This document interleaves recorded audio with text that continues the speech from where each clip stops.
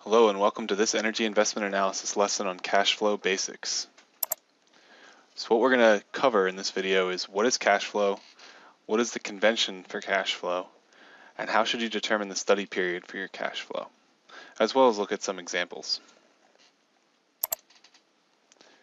So let's look at a little overview. Cash flows are an easy way to visualize all costs, positive and negative, for a given project over a given time period. So really what you're trying to capture is all the different costs or savings or benefits to your potential project that you're implementing. If you have several different alternatives, for example, buying a different car or several different um, solar power options, a cash flow must be made for each different alternative. So the convention is a big deal for cash flow. In this course, we're going to say that money going into your pocket is positive, and then money leaving your pocket is negative. And we'll show a few examples to get you uh, thinking that way. So let's talk about would the following um, examples be positive or negative in a cash flow diagram. So if you're buying a CFL, that's money leaving your pocket, so that would be negative. If you're mailing in a rebate for a purchase, you're going to be getting money back, so that's positive.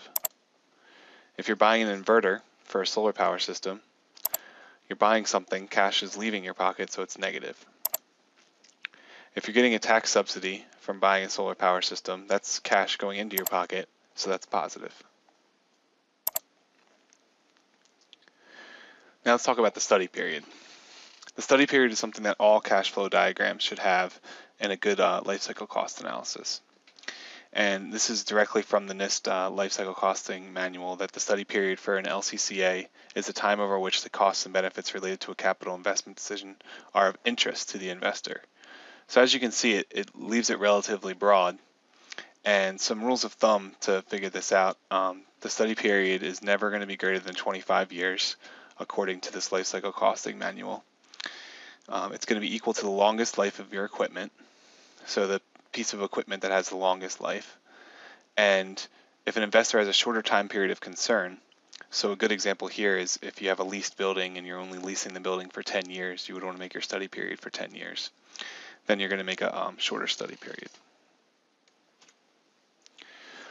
So let's just think about this for a second. The other thing we want to deal, deal with in our cash flow is if we have a relatively short study period, um, and we have equipment that lasts longer. So let's think about solar panels with a 20-year lifetime that cost $50,000. So what would you think is the least amount of money you would accept for the panels after 5 years, 10 years, and 20 years? So just come up with a number on your own um, for each of these and think about how you might go go about calculating this. Okay. So now we're going to show you how we're going to calculate in this course. And this is going to um, be called something called a residual. And again, this definition is right from the book, is that the residual value of a system is its remaining value at the end of the study period. So there are many ways to calculate this, but we are going to calculate the residual by linearly prorating its initial cost, which sounds utterly ridiculous, but you'll see what I'm talking about with a few examples. So let's look at this formula and example. The residual is the useful equipment life left at the end of the study period divided by the expected equipment lifetime times the initial cost.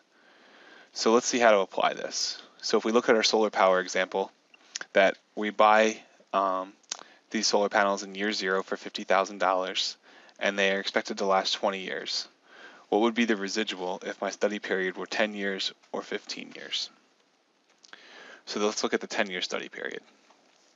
So the first is the numerator here is the useful equipment life at left at the end of the study period. Well, that's the total equipment life, 20 years, minus how long it's been used for, for the study period, for a 10-year study period, it's been used for 10 years, divided by the expected equipment lifetime, which is 20 years. So, and then we multiply by the initial cost, which is $50,000, so it's $25,000. So this makes sense because we've used the equipment for half of its expected lifetime, so it's half the cost is the residual. If we look for a 15-year study period,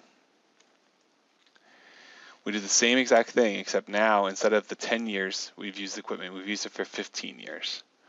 So basically, we only have one quarter of the benefit left of out of this equipment, or $12,500. So if you think about this, the residual, um, the way we're going to calculate it is very simplified. Um, you've probably heard about if you drive a car off a lot, it, it loses a lot of value the day you drive it off the lot. So there definitely are different ways to calculate the residual, but we're going to make um, this simplifying assumption. So let's just take a, a look at this um, residual graphically. So if we um, had on we have on the x-axis here basically the study period amount. So in our example, if we had a study period of 10 years, the residual would be $25,000, or 15 years, it'd be 12,500. So this is just to show you that why it's called linear prorating is that this is a straight line. The top of the bars make a straight line. And of course, if you had a 20-year study study period, then the residual will be nothing because you have no useful lifetime left in that equipment.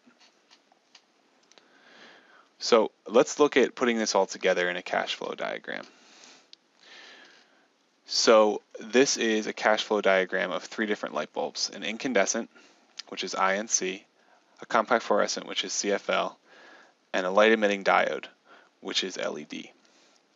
And what you can see is the first year, this is, or the first, um, the year zero in this in the cash flow diagram is when we buy the light bulb. So the incandescent has a relatively low cost to buy. The CFL has a middle um, cost to buy, and the LED is really expensive to purchase. And then every other year, you can see year one, year two, year three. The incandescent's expensive to run, the CFL is less expensive, and the LED is less expensive. Then something happens in um, in this year. For some reason, the CFL bar goes even lower, and this is because the CFL bulb burns out at this year, and we have to replace it. And then again, it burns out this year, we have to replace it. And then it burns out again this year, we have to replace it. It turns out in this um, example, the incandescent bulb burns out every year, so we're replacing this every year, and that's why the bars stay constant. And then if we look at the very end here, what happens is, is that our LED actually never had to be replaced and we even has a lot of a good amount of useful life left. And so the residual happens at this very last year. So the residual of the LED bulb makes this go into the positive. So it looks like this is cash going into our pocket because you can think about it, we're going to sell that useful LED at the end of the study period.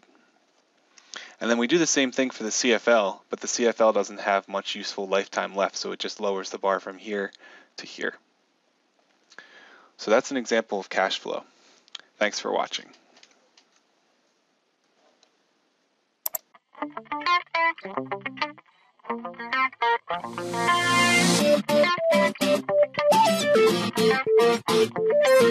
Thank you.